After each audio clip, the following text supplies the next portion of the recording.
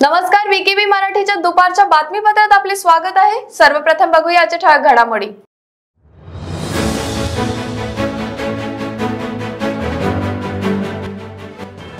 यंदाचं हिवाळी अधिवेशन नागपूरऐवजी मुंबईत होणार असल्यामुळे विदर्भवाद्यांमध्ये नाराजीचा सूर.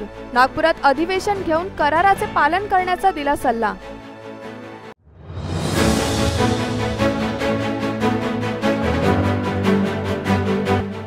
एक डिसेंबरपासून राज्यातील सर्व शाळा होणार सुरू. शाळा सुरू होणार असल्याने शिक्षकांसह पालकांमध्ये बघायला मिळतंय उत्साहाचं वातावरण.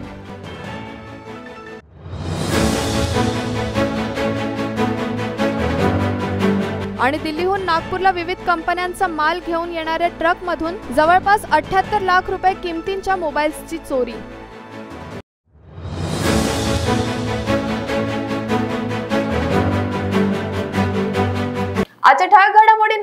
सविस्तर वृत्त. दरवर्षी नागपुरात होणारे हिवाळी अधिवेशन यंदा मात्र नागपुरात होणार की नाही याबाबत शंका कुशंका निर्माण झाल्या होत्या. शेवटी गुरुवारी कॅबिनेटच्या बैठकीत हिवाळी अधिवेशन मुंबईत घेण्यात येणार असल्याची घोषणा करण्यात आली. या निर्णयामुळे विदर्भ वाद्यांमध्ये नाराजीचा सूर बघायला मिळत असून नागपुरात अधिवेशन घेऊन नागपूर कराराचे पालन करा अशी ठाम भूमिका विदर्भवाद्यांनी घेतली आहे. कोरोनाच्या तिसऱ्या संभाव्य लाटेमुळे दरवर्षी हिवाळ्यात होणारे अधिवेशन नागपूरला न होता मुंबईला डिसेंबर महिन्यात होत आहे. मागच्या वर्षीही कोरोनामुळे हे अधिवेशन नागपुरात झाले नाही. मात्र आता कोरोनाचे संकट कमी झाले असून सर्व राजकीय उपक्रम सुरू झाले आहेत.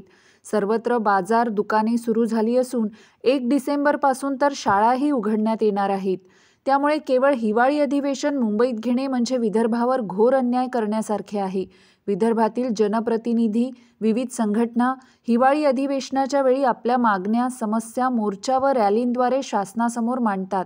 त्यामुळे या अधिवेशनाला फार महत्त्व असून ज्या हेतूसाठी हे अधिवेशन भरवले जाते तो हेतूच पूर्ण होणार नसल्याने विदर्भाचा विकासच होणार नाही. सात डिसेंबरपासून हिवाळी अधिवेशन नागपुरात होण्याची चर्चा होती. मात्र त्या दृष्टीने कुठल्याही हालचाली दिसून येत नव्हत्या. आता हे अधिवेशन बावीस ते अठ्ठावीस डिसेंबरपर्यंत मुंबईत घेण्यात येत असल्याची माहिती मिळाली आहे. दरवर्षी नागपुरात हिवाळी अधिवेशन होत असल्यामुळे विदर्भातील विविध मुद्द्यांवर समस्यांवर चर्चा करण्यात येतात. विकास कार्याला घेऊन निर्णय घेतले जातात. मात्र यावर्षीच्या या निर्णयामुळे नागपूर कराराचे उल्लंघन करून विदर्भावर अन्याय करण्याचे काम या सरकारने केले आहे. पार्श्वभूमीवर जवळपास एकोणवीस महिन्यांपासून राज्यभरातील प्राथमिक शाळा बंद आहेत.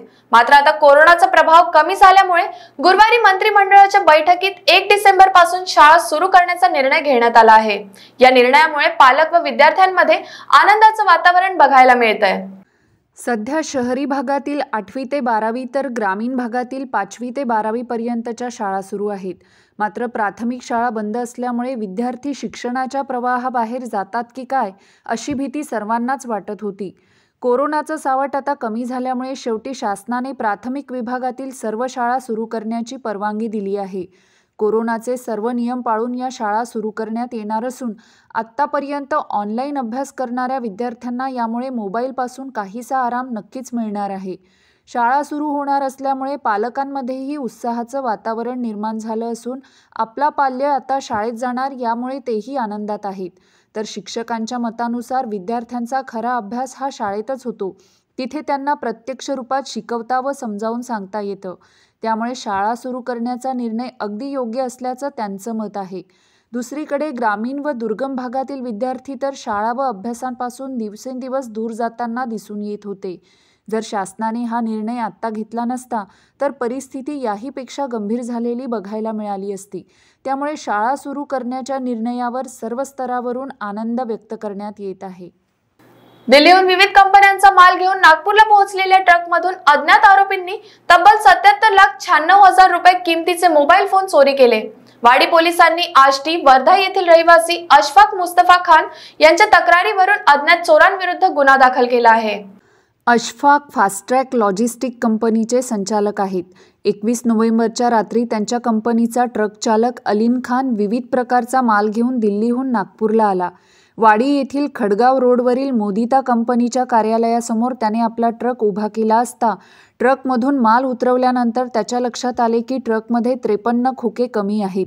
या त्रेपन्न खोक्यांमध्ये नामांकित कंपनीचे एकशे तीस मोबाईल ठेवलेले होते ज्यांची किंमत सत्याहत्तर लाख शहाण्णव हजार रुपये सांगण्यात येते. अलीमने याची माहिती अशफाकला दिली. अशफाक तातडीने घटनास्थळी पोहोचला व त्याने पोलिसांना पाचारण केले. वाडी पोलिसांनी घटनास्थळी जाऊन चोरीचा आढावा घेतला असता त्यांच्यानुसार ट्रकमधील खोके दिल्ली ते नागपूर दरम्यानच चोरी झाले असावे. वाडी ठाणे परिसरात याआधीही अशा प्रकारच्या चोऱ्या झाल्या असून त्रेपन्न खोके चोरी करण्यासाठी चोरांनी नक्कीच मोठ्या वाहनाचा उपयोग केला असावा. यामागे एखाद्या मोठ्या टोळीचाही हात असल्याचा संशय व्यक्त केला जातोय. उमरेड शहरातून बोलेरो पिकअप वाहन व मोटरसायकल चोरी प्रकरणी उमरेड पोलिसांनी मध्य प्रदेशातील चिखलाग्राम येथील रामप्रसाद सिखिराम रॉय याला वाहनासह अटक केली. अटक आरोपी विरुद्ध नागपूर उमरेड वाठोडा हुडकेश्वर सह अनेक पोलीस ठाण्यात चोरीचे गुन्हे दाखल असल्याचे सांगण्यात येत आहे. याबाबत पोलिसातून मिळालेली माहिती अशी की उमरेड शहरातील जोगी ठाणापेठ येथील रहिवासी फिर्यादी सुभाष कृष्णराव हरडे यांनी त्यांचे महिंद्रा मॅक्स पिकअप वाहन उमरेड शहरातील राशी पेट्रोल पंप अडायरवाले लेआउटसमोर उभे केले होते. दुसऱ्या दिवशी सकाळी दुकानाकडे निघाल्यावर त्यांना त्यांची गाडी कुठेच दिसली नाही. तक्रारदार यांनी उमरेड पोलीस ठाण्यात वाहन चोरीची फिर्याद दिली. उमरेड पोलिसांनी पेट्रोल पंपासमोर लावण्यात आलेले C C T V footage तपासण्यास सुरुवात केली असता रात्रीच्या सुमारास दोन अज्ञात व्यक्ती दुचाकीवरून आले आणि एक आरोपी पिकअप वाहनात बसून गाडी घेऊन जाताना दिसला. यातील एका आरोपीला उमरेड पोलिसांनी ताब्यात घेतले असून आरोपींकडून मध्य प्रदेशातून चोरलेली बोलेरो पिकअप कारही जप्त करण्यात आली असून दुचाकीही जप्त करण्यात आली आहे. ही कारवाई Umred D Y S P Bhimrao Tele यांच्या मार्गदर्शनाखाली उमरेडचे S H O Mahesh Bortekar P S I Battulal Pande Jamadar Arun जयसिंगपुरे Ramesh Tripathi constable Arvind Chavan आदींनी केली. वेळ झाली का छोट्याशा ब्रेकची? भेटूया ब्रेक नंतर. बाय सब जानना चाहते हैं। मेरा फेवरेट कलर मेरा फेवरेट डेस्टिनेशन मेरी फेवरेट डिश पर कोई ये नहीं पूछता कि फेवरेट डिश मैं बनाती कैसे हूँ। अरे यार। जिसे टेस्टी खाना पसंद है वो अच्छे टेस्ट तक पहुँच ही जाता है। सुरुचि मसाले। खाने में हो रुचि तो घर लाइए सुरुचि। अपने सपनों की उड़ान भरने की इच्छा तो हर किसी की होती है। पर पंख भी तो मज़बूत होने चाहिए। जो देता है Flywheel aviation academy Flywheel aviation academy एक ऐसा इंस्टीट्यूट है जहाँ पर एयरलाइंस एंड एयरपोर्ट हॉस्पिटैलिटी और टूरिज़्म मैनेजमेंट साथ ही यहाँ campus interview guidance by industry expert practical training at airport expert faculty personal grooming जैसे कई सारे बेनिफिट्स आप पा सकते हैं। Flywheel aviation academy one degree three job opportunities Flywheel aviation academy gives you a degree और diploma with a job Flywheel aviation academy three sixty five Gandhinagar L E D college square beside Karnataka bank Nagpur break नंतर आपले स्वागत आहे. लग्न सराईचा हंगाम सुरू झाल्याने बेफिक्रीपणाही दिसून येत आहे. अलीकडेच नंदनवन येथील अनुसया मंगल कार्यालयात कॅटरिंगच्या कामात असलेल्या सोळा वर्षीय तरुणाचा लिफ्टमध्ये अडकून मृत्यू झाला. या प्रकरणी मंगल कार्यालयाच्या व्यवस्थापकासह पाच जणांवर गुन्हा दाखल करण्यात आला. वाठोडा पोलीस ठाण्याच्या हद्दीतील श्रावण नगर परिसरात असलेल्या सचिन सेलिब्रेशन हॉलमध्ये अशीच एक घटना घडली. येथे एक वेटरचा करंट लागून मृत्यू झाला होता. पोलिसांनी डेकोरेशन व्यावसायिकाविरुद्ध गुन्हा दाखल केला आहे. याबाबत पोलिसांकडून मिळालेली माहिती अशी की जयदुर्गानगर भांडेवाडी येथील रहिवासी अभिषेक लकराम बोरकर हे सोमवारी सायंकाळी सचिन सेलिब्रेशन हॉलमध्ये आयोजित कार्यक्रमात केटरिंगचे काम करण्यासाठी गेले होते. येथे सजावटीसाठी टेबलवर दिवा ठेवला होता. अभिषेकचा हात उघड्या वायरला लागला. त्याला जोरदार झटका लागला आणि तो बेशुद्ध पडला. सहकारी कर्मचाऱ्यांनी त्याला उपचारासाठी मेयो रुग्णालयात दाखल केले. मात्र रात्री अभिषेकचा मृत्यू झाला. पोलिसांनी आकस्मिक मृत्यूची नोंद केली होती तपासात डेकोरेशन व्यावसायिकाचा निष्काळजीपणा उघड झाला. डेकोरेशनच्या वेळी टेबलवर वायर उघडी ठेवली होती काम करत असताना अभिषेक वायरच्या संपर्कात आला आणि त्याला करंट लागला. या प्रकरणी पोलिसांनी मयूर डेकोरेशनचे संचालक श्रावण नगर येथील रहिवासी लाला जुमडे आणि मयूर सरोदे यांच्यावर गुन्हा दाखल केला आहे. सध्या नागपुरात अतिक्रमण करणाऱ्यांविरुद्ध जोरदार कारवाई सुरू आहे. मात्र या कारवाईला आता विरोध करण्यात येत असून बुधवारी सूत मार्केट इथे अतिक्रमण कारवाई दरम्यान तहसील पोलिसांसोबत धक्काबुक्की करण्यात आली. तर कमाल चौकातही अतिक्रमण विरोधी विभागाला लोकांनी घेरले होते. परिसरात काही काळ तणाव निर्माण झाल्यामुळे अतिरिक्त पोलीस दलाला पाचारण करण्यात आले होते. नागपूर शहरात अतिक्रमणाची समस्या दिवसेंदिवस गंभीर बनत चालली असून या अतिक्रमणामुळे फुटपाथ तर गायबच होत चालले रस्त्याच्या कडेला वाहने उभी करण्यात येत असल्यामुळे वाहतूक समस्या निर्माण झाली आहे.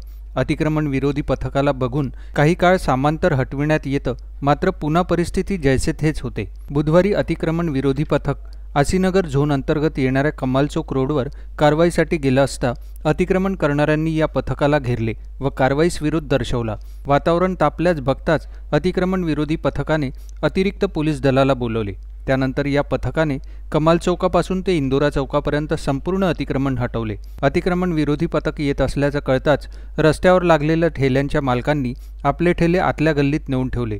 मात्र तरीही अतिक्रमण विरोधी पथकाने गल्लीत जाऊन जवळपास आठ ठेले जप्त केले व अडतीस दुकाने हटवली.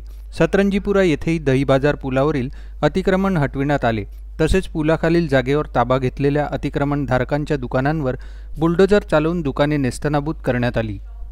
शेतकऱ्यांची आर्थिक बाजू मजबूत राहावी म्हणून व पिकांना हवामान धोक्यांपासून सुरक्षा प्रदान करण्यासाठी फळ पीक विमा योजना सुरू करण्यात आली आहे.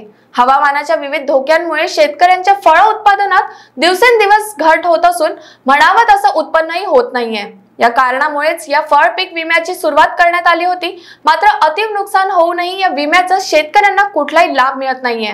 शिवाय विम्याच्या हप्त्यात वाढ झाल्याने शेतकऱ्यांमध्ये रोष निर्माण झाल्याचं चित्र नरखेड तालुक्यात दिसून येत आहे. नागपूर जिल्ह्यात दोन हजार एकवीस ते दोन हजार बावीसमध्ये संत्रा फळ पिकासाठीच्या विम्याच्या हप्त्याचं पाचपटीने वाढ झाली आहे. संत्रा उत्पादकांना कोरोनाच्या संचारबंदी काळात अनेक समस्यांना तोंड द्यावे लागले.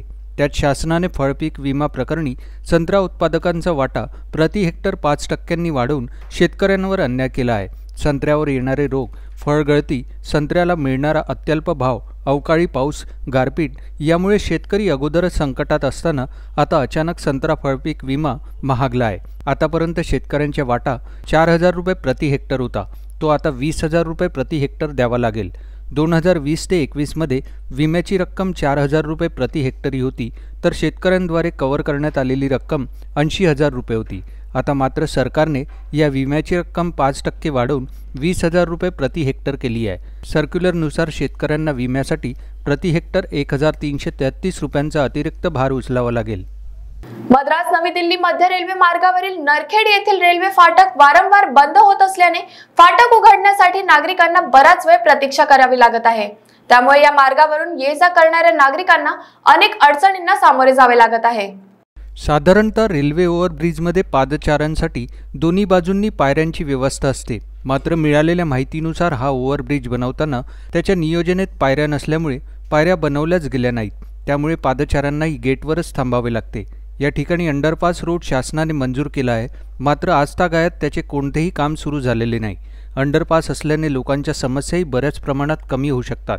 या रेल्वे फाटकामुळे सर्वसामान्य नागरिकांची कुंडी होत असतानाच रुग्णवाहिकेला फाटक ओलांडण्यासाठी प्रचंड त्रास होत आहे. एखाद्या गंभीर रुग्णाला गेट ओलांडून न्यावे लागले आणि गेट बंद राहिल्यास रुग्णाच्या जीवालाही धोका निर्माण होतो. अशा स्थितीत रुग्णवाहिका चालक हे गेट सोडून दुसरा मार्ग पत्करतात.